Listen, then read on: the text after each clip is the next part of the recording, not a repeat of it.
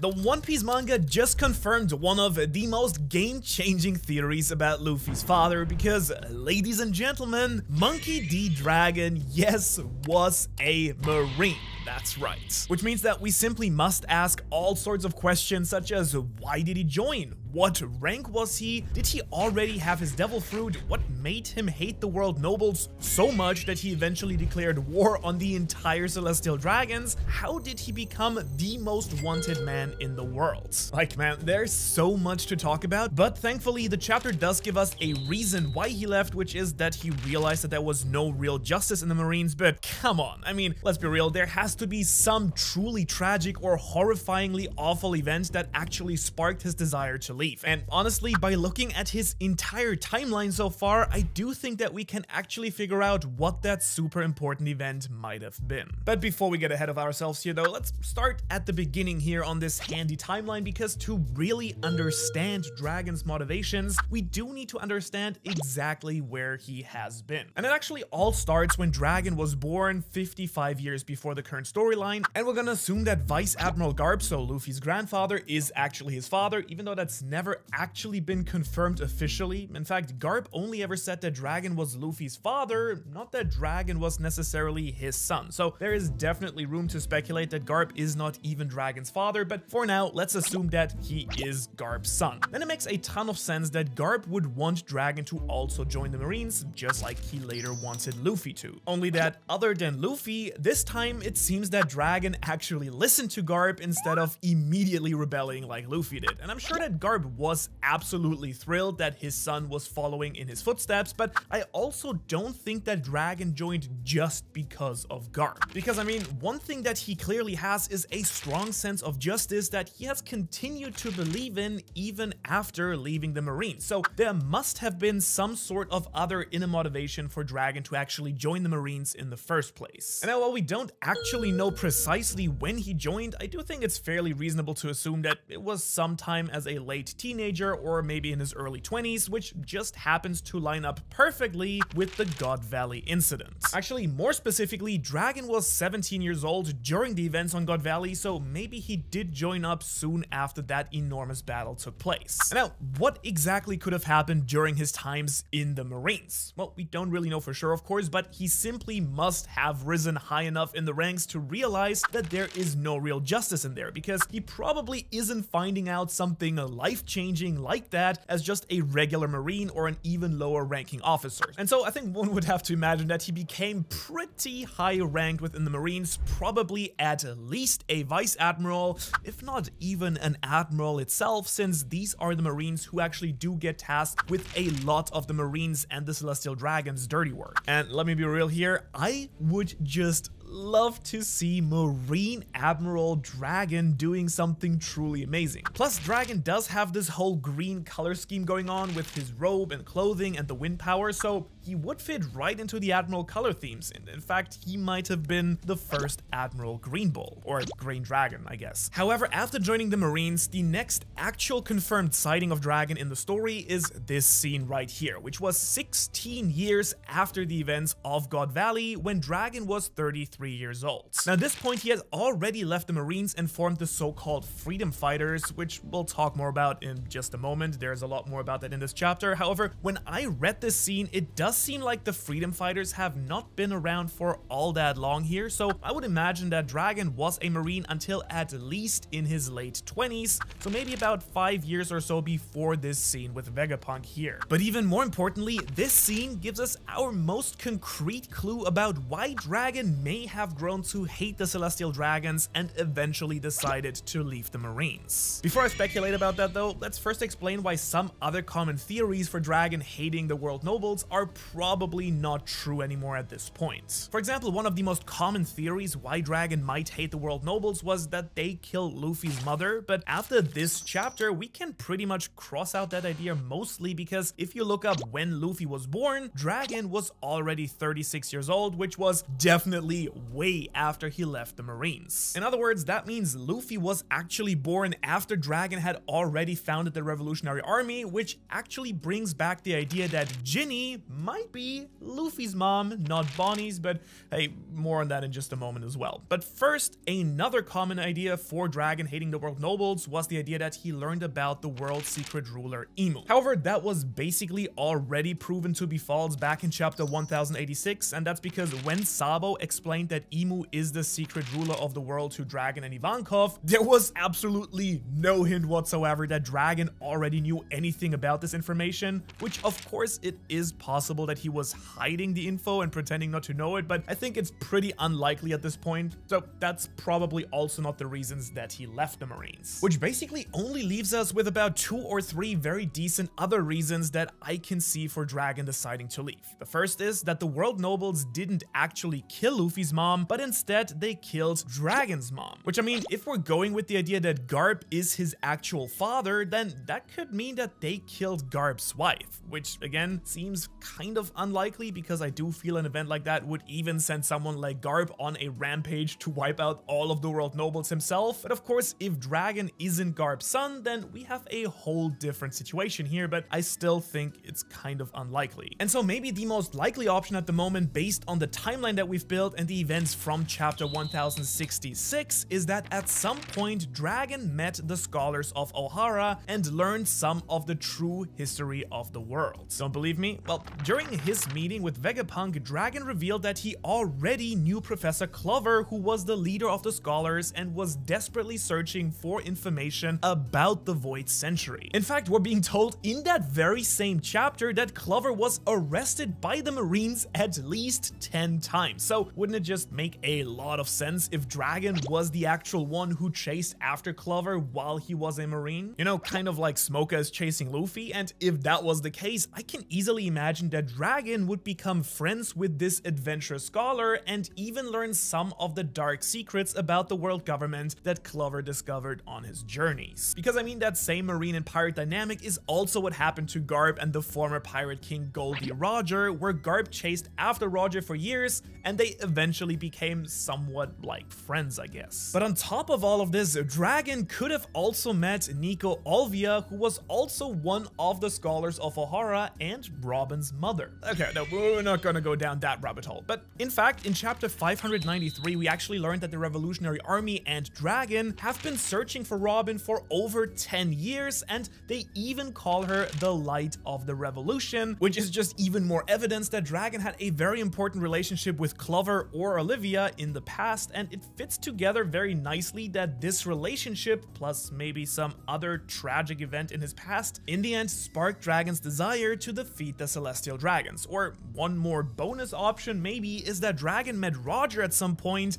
and learned the true history of the world from him. Now this is possible because Roger did find Laugh Tale about three years before Dragon met with Vegapunk on Ohara, so I'm just saying the timing and the timelines do line up well here. Plus, I've actually always been super curious how Dragon out of all these crazy people that we know earned the highest bounty in the entire world, and while we don't find out in this chapter, we do know that the one thing that the world government absolutely does not allow is research into the poneglyphs. Plus, I've actually always been super curious how Dragon out of all these crazy people that we know earned the highest bounty in the entire world, and while we don't find out in this chapter, we do know that the one thing that the world government absolutely does not allow is research into the poneglyphs. And so, if Dragon was friends with the people who did the research of the poneglyphs, or he got some info about them from Roger, then all of that, plus the fact that he's making an entire army to fight the world nobles and is a former marine, could be enough reasons for him to be have that super high bounty and be the most wanted man in the entire world.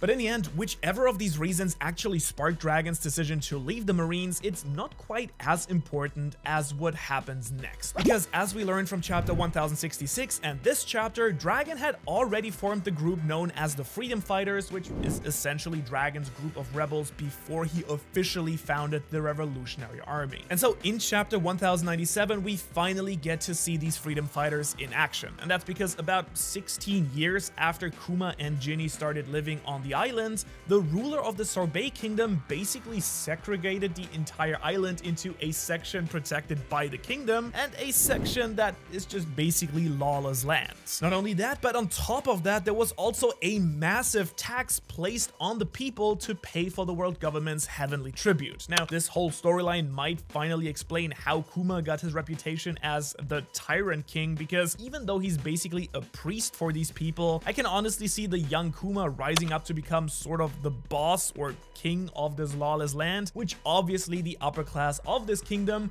wouldn't want to see at all, and he is put into jail. But soon after that, Dragon and Ivankov here arrived with their band of freedom fighters to overthrow this corrupt ruler, which finally leads to Kuma and Ginny joining up with the freedom fighters, which then officially at this point become the Revolutionary Army. But from here on out though, there are actually a few new important points that we can actually add to our timeline. For example, in this chapter, we learned that 14 years ago, Kuma and Ginny were confirmed to both still be a part of the revolutionaries. At this point in time, Kuma is 33 years old and Ginny is 37. And this fact by itself is actually super interesting. First of all, again, props to Ginny for surviving this long in the story. I mean, I honestly thought that she wouldn't even make it off God Valley, but the second really interesting point this brings up is that we once again have to reanalyze the question of, is Ginny someone's mom? I mean, after last chapter, it did seem pretty logical that since she and Kuma were living together, then Ginny would eventually become Bonnie's mother, right?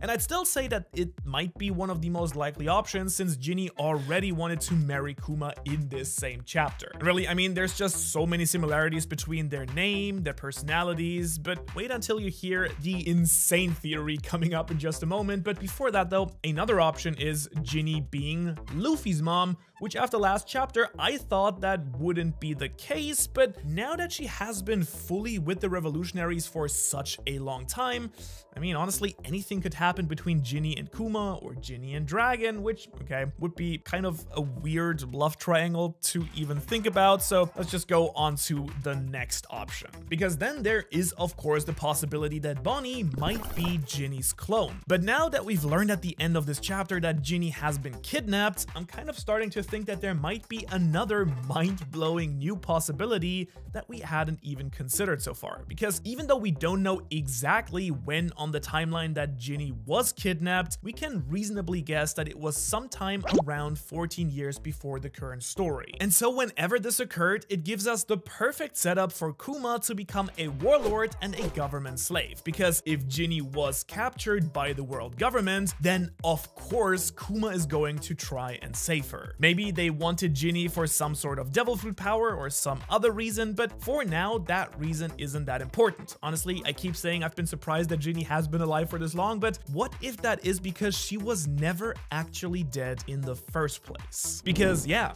that's right. I'm proposing that Bonnie, that we have known for most of the story now, is in fact Ginny, who was aged down and had her memories pushed out by Kuma. Which at first sounds crazy, yeah, know, and while she doesn't look exactly like Bonnie in this chapter, her appearance really isn't that far off. Plus, if you look deep enough, there is actually some pretty solid evidence that supports this exact idea. First of all, we do know that the world government wanted Bonnie for some reason, and it does appear that they had once captured her, which honestly does seem pretty weird knowing that she's basically a pirate and we always saw her as a young one at that. But what if they had actually captured her as Ginny and then they later let her go in exchange for Kuma becoming the world government slave? But on top of that, if you look back to chapter 1074 and the memories that Bonnie viewed in the lab, there are some very odd circumstances surrounding this as well. First of all, Vegapunk was desperate for Bonnie not to see those memories, which was always a little bit weird to me. I mean, yeah, her father's memories might have just been painful, but wouldn't it be good for Bonnie to see what her father went through? Unless, of course, these actually weren't Kuma's Memories, but they were instead Ginny's memories, and Vegapunk didn't want her to realize that Bonnie isn't who she thinks she actually is. Also, in this flashback that we thought was Kuma's, Bonnie is looking at Kuma from the outside, which wouldn't really make sense if they were Kuma's memories in the first place. Because if these were Kuma's memories, shouldn't the memories actually show a perspective through his eyes? Instead, we kind of see it as if from someone else's perspective looking at Kuma, which would make a lot more sense if these were Ginny's memories instead. Plus, we were also literally shown Bonnie turning Vegapunk into a baby right before she touched the memories, which seems like the sort of foreshadowing that Oda would love to do. However, the one piece of evidence that fits this theory all together is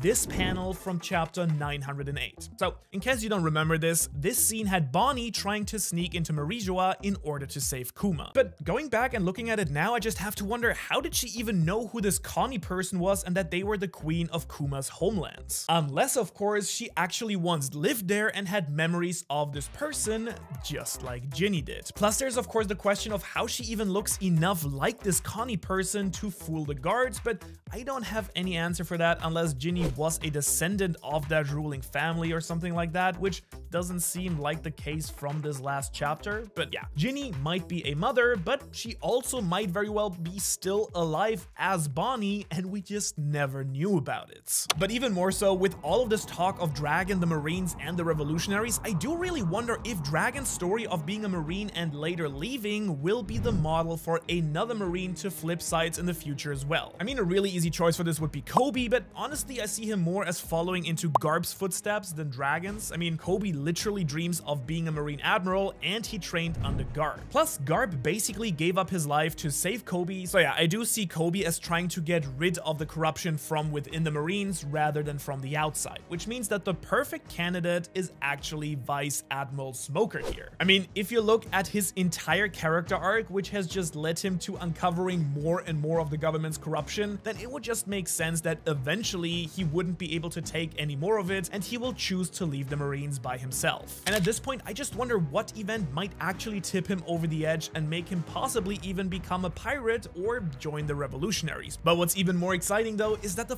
flashback isn't even over yet, so in the next few chapters we might even get to see Dragon fully show off his powers for the very first time and well, this is like one of those mysteries that I've been desperate to know about for so long because he just has to be, right? One of the top tier powerhouses in the entire story. And if you want to know what his legendary powers might actually be, plus the unknown powers of other extremely strong fighters in the story, then you can check out this video right here. Thanks for watching, and I will see you in the next one.